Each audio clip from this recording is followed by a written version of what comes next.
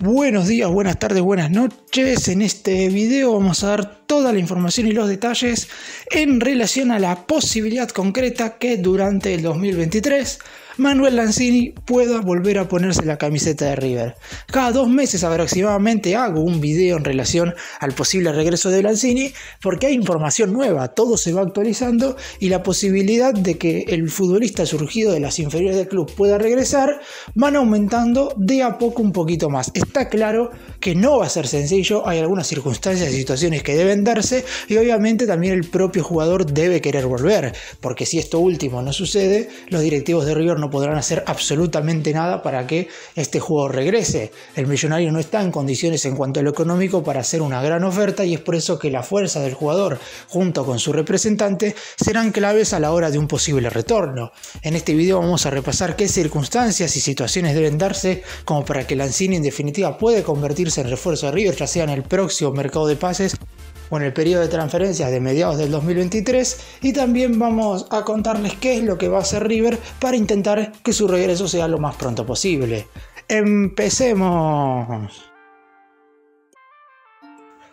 Para comenzar, y como dije recién, para que se dé la vuelta de Lanzini, tiene que haber una muy buena movida, tanto de los actuales dirigentes del club como del propio futbolista y de su representante, que ambos deberán poner de su parte. Lanzini tiene 29 años, está en la edad de volver debido a que ya no parecería poder progresar más en Europa en cuanto a lo deportivo, cumplirá 30 años en febrero del año que viene y ha manifestado en distintas entrevistas que sueña con volver a ponerse la banda, pero claro, deberá hacer que ese deseo se convierta en realidad y mucho va a depender de él. Y en cuanto a lo económico, lleva 8 años en el exterior luego de irse de River, uno en el Al Jazeera de los Emiratos Árabes Unidos y 7 consecutivos en el West Ham. Está atravesando su octava temporada en el conjunto inglés.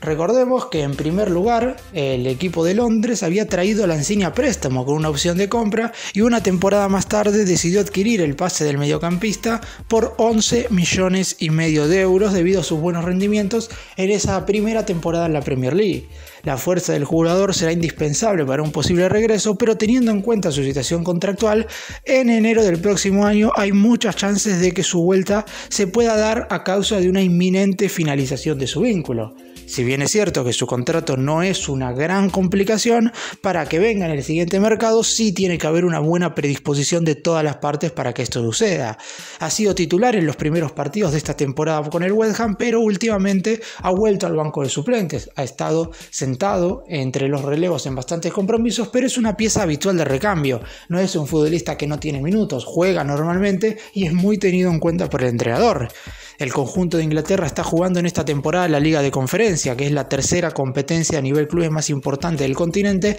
por detrás de la UEFA Champions League y de la UEFA Europa League. Es por todo esto que el futbolista tiene que tener ganas de venir para que el pase pueda realizarse en enero. Eh, West Ham posiblemente clasifique a la siguiente fase de la Liga de Conferencia y es por eso que va a tener competencia internacional en el primer semestre del 2022 y hay que ver en qué situación se encuentra en ese momento en la Premier League. Si hacemos un paralelismo con antiguos jugadores que vinieron a River y tuvieron que resignar mucho, en su momento Enzo Pérez hizo fuerza para volver al club y River únicamente tuvo que poner 2 millones y medio de euros cuando el Valencia de España en un principio pedía 10 millones de la moneda europea debido a que en su momento le había pagado 25 millones de euros al Benfica, por lo que fue muy importante las ganas del futbolista. Otro caso bastante emblemático es el que se dio a principios de este 2022 con Emanuel Mamana, el central que tenía contrato por seis meses más con el Zenit de San Petersburgo, logró rescindir su vínculo con el conjunto de Rusia para volver a River con el pase en su poder. Está claro que las situaciones no son similares. Mamana prácticamente no jugaba, de hecho estaba cedido en el Sochi, un club menor de Rusia, y es por eso que el Zenit no puso mucho impedimento como para que pueda venir más allá de resignar una parte de su sueldo. En el caso de Lanzini, está jugando en la Premier League, un equipo bastante importante y que ha tenido un muy buen nivel en los últimos años, por lo que hay que descartar totalmente la rescisión de su contrato seis meses antes de que termine su vínculo. Es por eso que para que venga hay dos alternativas. Que River le dé un resarcimiento económico para finalizar su contrato seis meses con antelación, o en definitiva que River espere hasta el 30 de junio del año que viene, que es cuando definitivamente acaba el contrato de Lanzini con el West Ham, y que en ese momento, a partir del 1 de julio, pueda venir con el pase en su poder.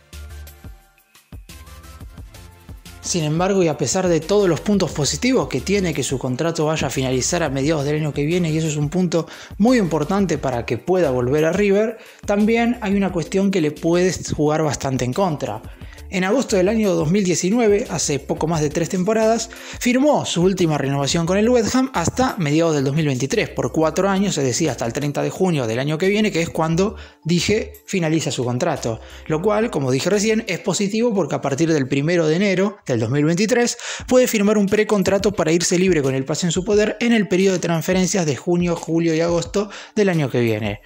Sin embargo, un punto que puede jugarle muy en contra y que tiene que ver con esto es que tiene una automática renovación de su contrato con el equipo inglés por dos temporadas más si es que ambas partes quieren. ¿Qué quiere decir esto? En el momento en el cual extendió su vínculo por cuatro años, firmó una renovación automática por dos temporadas más, es decir, hasta el 30 de junio del 2025, si es que el club y el propio futbolista quieren seguir ligados entre sí. Es por eso, y como vengo repitiendo durante todo el video y lo voy a hacer hasta el final, para que Lanzini venga en el 2023 es clave las ganas que el propio jugador tenga, porque más allá de todos los movimientos que deben hacer y que seguramente hagan los dirigentes de River como para poder incorporarlo, la realidad es que si el jugador no pone nada de lo suyo es imposible que venga. Es más, si quiere seguir en el West Ham automáticamente hasta el 30 de junio del 2025 seguramente tenga contrato porque el equipo inglés lo tiene en cuenta y si bien no es una de las máximas figuras de la plantilla, la es que está muy bien considerado por el entrenador y también por los hinchas, por lo que habría que esperar a Lanzini dos años más para que pueda volver a River y seguramente allí serían otras las condiciones, porque si bien es cierto que Lanzini no está en el mejor momento de su carrera, es un futbolista que está teniendo roce a nivel internacional en la mejor liga del mundo y dentro de dos años no sabemos específicamente cómo se va a encontrar ni en lo futbolístico ni tampoco en lo físico. Está transitando su octava temporada en el West Ham de Inglaterra. Como dije anteriormente, llegó al equipo inglés a mediados del 2015 proveniente del Al Jazeera de los Emiratos Árabes Unidos. Tuvo tres años, los primeros tres de gran continuidad, después unos siguientes tres años en los cuales no tuvo mucha regularidad y unas últimas dos temporadas muy buenas donde relanzó nuevamente su carrera. En total, llega a más de 200 partidos con 29 goles y 27 asistencias en el conjunto de Inglaterra. A mediados del año 2018, en la previa de lo que fue el Mundial de Rusia, estaba citado para formar parte de la lista definitiva por el entrenador de aquel entonces, Jorge Sampaoli, sufrió una lesión muy dura al romperse los ligamentos. Y no solamente fue esta lesión la que hizo que su carrera se frenara un poco, si bien fue la más dura, con el correr de las temporadas ha tenido muchos inconvenientes físicos que le han impedido despegar en su carrera como para pasar de un club que es de mediana tabla a uno de los llamados grandes de Inglaterra. De hecho, en su momento, antes de que sufriera esta rotura de ligamentos, se mencionaba que tanto el Arsenal como el Liverpool podrían ofertar por él. Sin embargo, esta lesión lo mantuvo afuera 8 meses del campo de juego y eso hizo automáticamente que no pudiera traspasarse. Está claro que tampoco hubo una verdadera oferta como para saber cuánto dinero hubieran puesto estos dos equipos por Lanzini, pero hoy por hoy ya teniendo 29 años próximo a cumplir 30, no va a poder seguir progresando en cuanto a lo deportivo yendo a un club más grande de Inglaterra y es por eso que River tendría que estar preparado como para hacerle un buen ofrecimiento, que el jugador quiera venir y que todas las partes se pongan de acuerdo como para que sea refuerzo en el 2023. Repasando ahora lo que fue su paso por el millonario, sus buenos ciclos, los que ha tenido por la institución de Núñez, en River debutó el 8 de agosto del 2010, hace más de 12 años, de la mano de Ángel Capa en la victoria por 1 a 0 contra Tigre en el Estadio Monumental por la primera fecha del torneo Apertura. En total, teniendo en cuenta que jugó una temporada, la 2011-2012, cedido en el Fluminense de Brasil, donde logró tener mucha continuidad que le sirvió para volver a River con mucha más experiencia, estuvo en el Millonario tres años, las temporadas 2010-2011, la 2012-2013 y la última 2013-2014.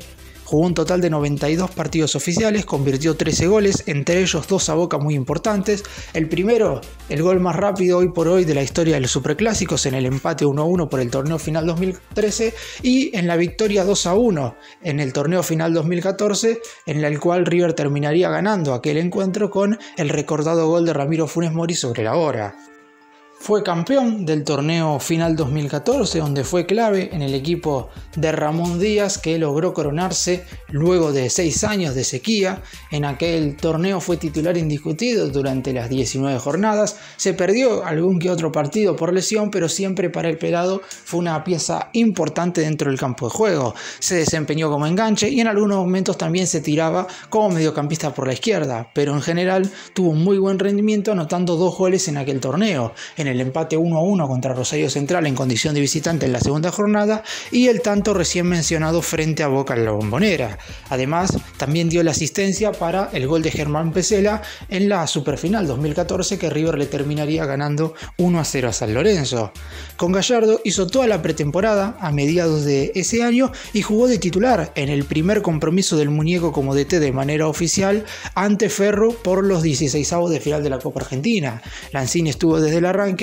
y lamentablemente falló en su definición en los penales, aunque River terminaría pasando por esa vía a la siguiente fase. Luego de eso, no siguió en el club y terminaría siendo vendido al Al Jazeera de los Emiratos Árabes Unidos, siendo la primera venta de la dirigencia pasada, de la comandada por Rodolfo Onofrio, en alrededor de 6 millones de dólares. River perdía un futbolista elemental en la mitad de la cancha que a medida que fueron pasando los años se fue convirtiendo en un jugador verdaderamente muy pero muy completo al principio, cuando debutó, era muy joven, tenía condiciones, se veía que dentro del terreno tenía algunas aptitudes que mostraban los mejores jugadores de River, pero la realidad es que le faltaba muchísimo como para convertirse en ese futbolista que necesita un equipo como para terminar de salir campeón. Con el correr del tiempo, Lanzini se fue transformando en un todoterreno en la mitad de la cancha, no perdió gol, siguió participando constantemente del circuito ofensivo con el resto de sus compañeros y es por eso que al final terminó transformando formándose en un jugador verdaderamente muy importante.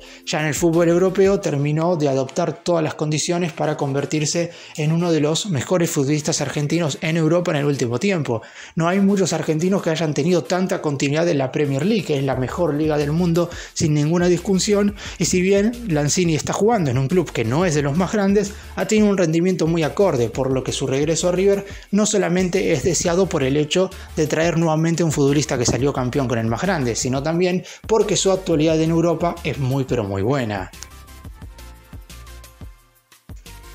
Para cerrar y dar mi opinión con respecto a esto, está claro que en el momento en el cual Lanzini quiera volver a ponerse la camiseta de River, va a tener las puertas abiertas, es un hijo de la casa y en el instante en el cual quiera volver al club, las puertas estarán totalmente abiertas para que se dé su regreso, más allá de que su posición dentro del campo de juego pueda estar ocupada, porque la realidad es que River tiene muchos mediocampistas ofensivos, pero la jerarquía y la experiencia de jugar en el fútbol europeo como la tiene Lanzini, no la tiene ninguno, ni tampoco River va a poder conseguir a un futbolista por medio de una transferencia que tenga las condiciones que tiene Lanzini, y es por eso que ojalá que pueda volver siguiente mercado de pases para iniciar una posible Copa Libertadores desde cero, ese es otro punto. Lanzini es de los futbolistas de River que nunca han disputado la Copa Libertadores con el club y seguramente quiera jugarla en un nivel medianamente acorde, que no quiera disputarla ya en el momento en el cual venga a retirarse. Es por eso que a mi entender el momento para jugarla debe ser el próximo 2023. River lo va a necesitar y ojalá Lanzini quiera regresar.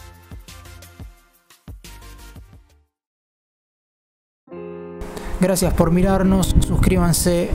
nos vemos en el próximo vídeo.